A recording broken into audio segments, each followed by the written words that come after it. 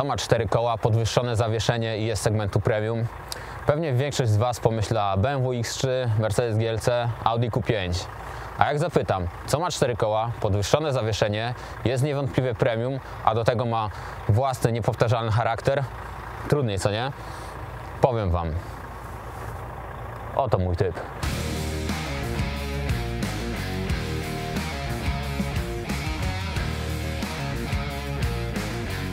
Tylko na niego spójrzcie. Nowy Jaguar F-Pace. Nie powiecie mi, że nie robi wrażenia. Może to kwestia tego, że takich X trójek jest na naszych drogach masa, ale według mnie Jaguar wygląda zdecydowanie ciekawiej. Ma charakter, czego próżno szukać u niemieckich rywali. Są oni po prostu poprawni, a tu czuć tą brytyjskość. Kolonializm nigdy nie był poprawny. Po części zasługa w tym wersji, mamy tutaj bowiem wersję Air Dynamic HSE, którą wyróżnia inny zderzak z większymi wlotami, inna chłodnica, atrapa chłodnicy. Poza tym mamy tutaj też pakiet Black, czy jak to się w Jaguarze nazywa, czyli czarna obwódka grilla, czarne listwy, czarne listwy wokół szyb, czarne relingi. Wygląda dobrze, nie powiecie co nie? Nasz egzemplarz jest wyposażony w opcjonalne lampy Pixel LED. Jeśli komuś nie szkoda wyłożyć 10 tysięcy na ładną animację, to polecam. A poza tym świecą świetnie. O X3 wcześniej wspomniałem nieprzypadkowo, ponieważ ze wszystkich SUVów premium jest on do niego najbardziej zbliżony rozmiarami. Jest minimalnie dłuższy od X3. Ma praktycznie taki sam rozstaw osi. Jest o 2 cm niższy, za to aż 8 cm szerszy, przez co sprawia wrażenie większego niż w rzeczywistości. Co ciekawe, jest też lżejszy od swoich niemieckich rywali, ponieważ wykonano go z aluminium.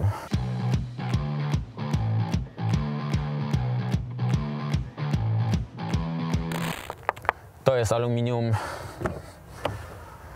Tutaj wszędzie mamy aluminium. To jest aluminium. Cały tył aluminiowy. Klapa bagażnika jest z tworzywa, to nawet nie jest plastik. Drzwi są z blachy. To nawet nie wiem z czego jest. Zderzak jest plastikowy, oczywiście. Pewnie wielu z Was się zastanawia, jak wygląda bagażnik w Jaguarze. Wygląda tak. Klapa jest to płatna opcja. Bagażnik jest przepasny, foremny. Mamy duży schowek pod podłogą.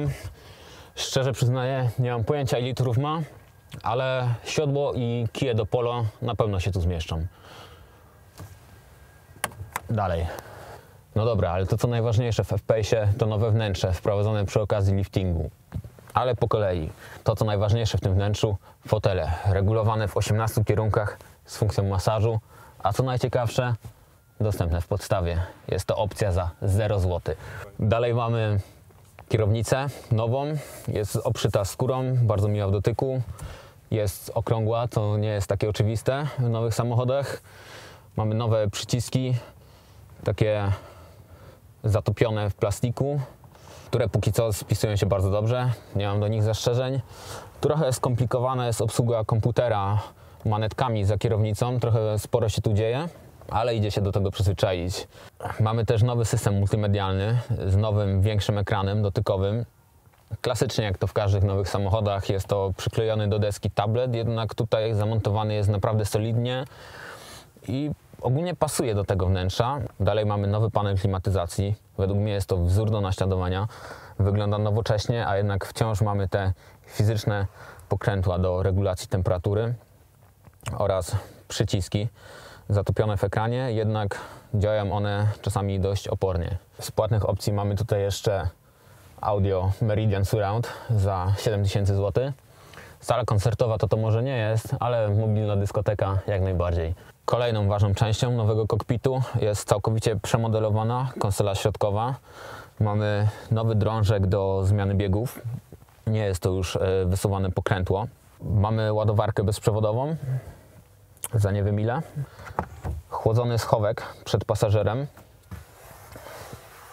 Bardzo ładnie wyściłany. to, co najbardziej zwróciło moją uwagę, to spójrzcie, ile tu jest miękkich materiałów. To jest miękkie. To jest miękkie. To jest miękkie.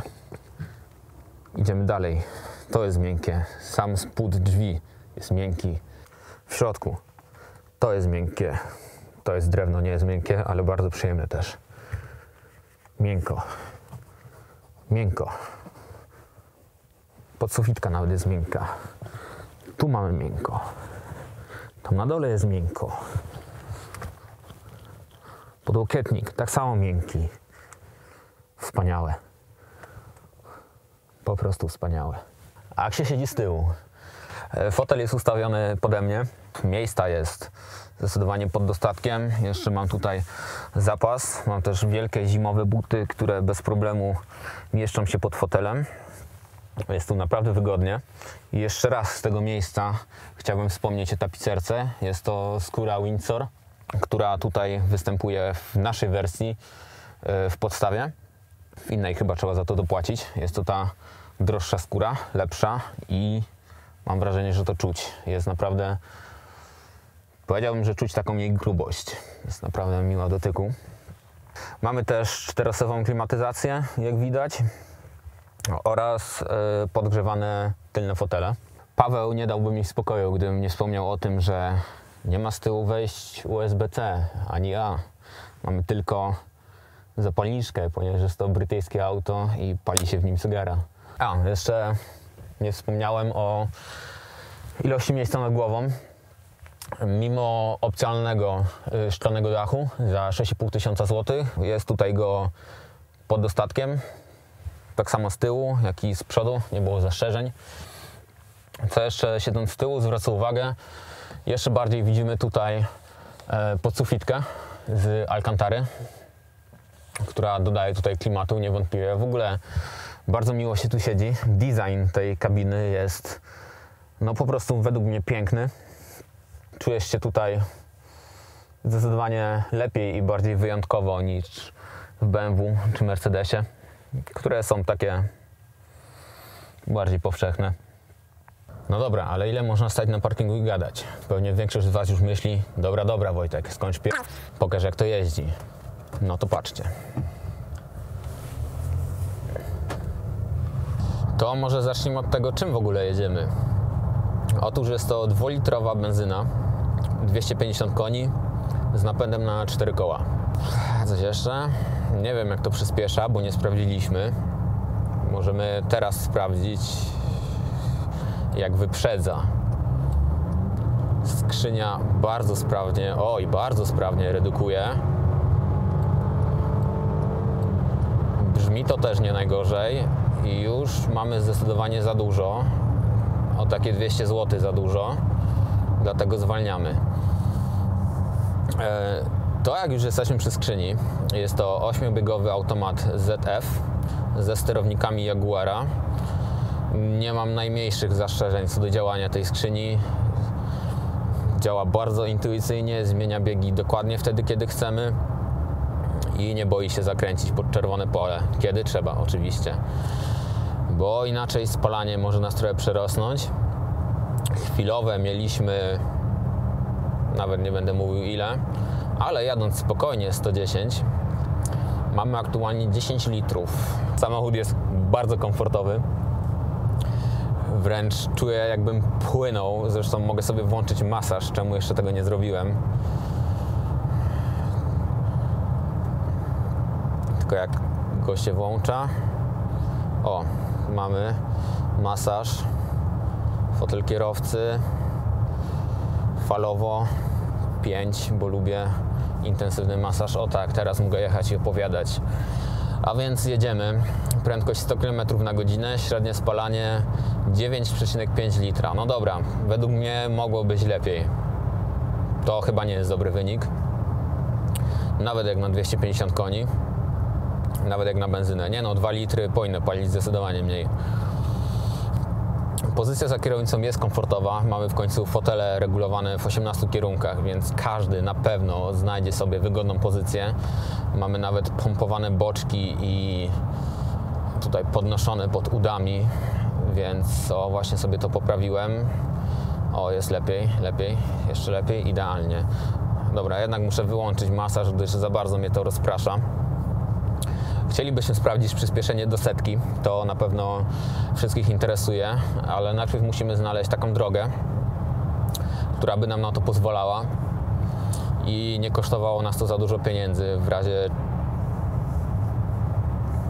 wiadomo. Co jeszcze mogę powiedzieć o Jaguarze XF? Na pewno mogę powiedzieć coś o jego cenie. Czy mógłbym prosić mojego asystenta o mm, podanie mi ceny? 454, 360. 454, 360, dziękuję. Dużo? Kurde, prawie pół bańki. Dużo. Co dostajemy w zamian? No, dostajemy praktycznie kompletnie wyposażony samochód.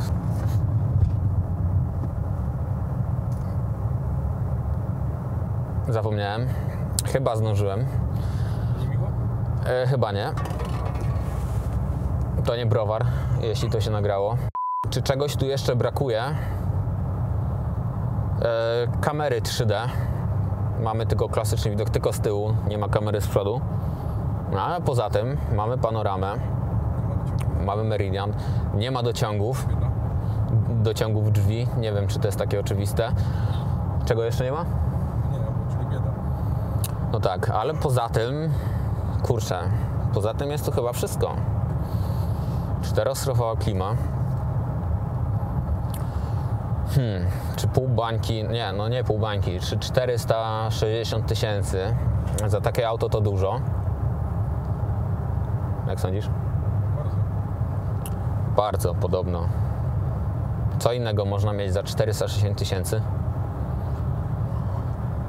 4 Mazdy MX-5.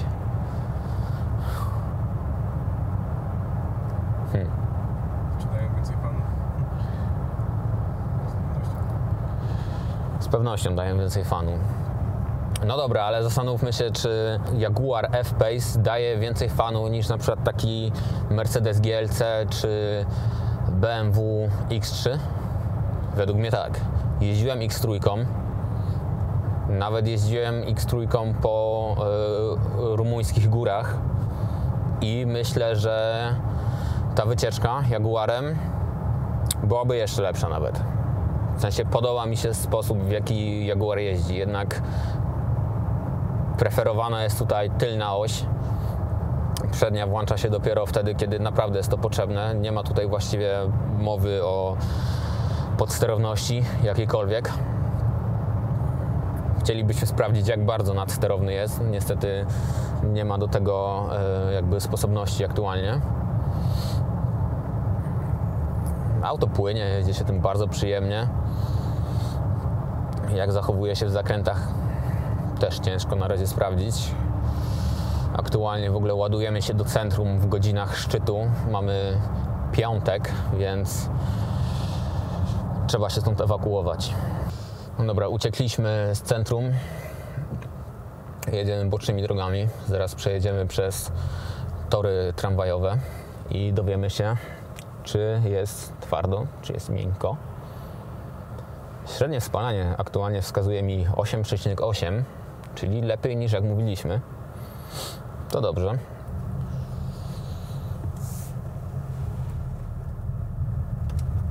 Nie, no jest komfortowy.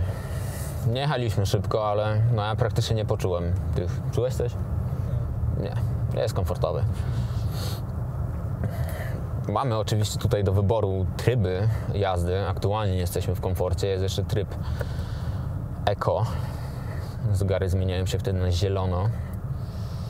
Tryb deszcz lub śnieg, który powinniśmy włączyć dzisiaj rano, gdyż padał śnieg.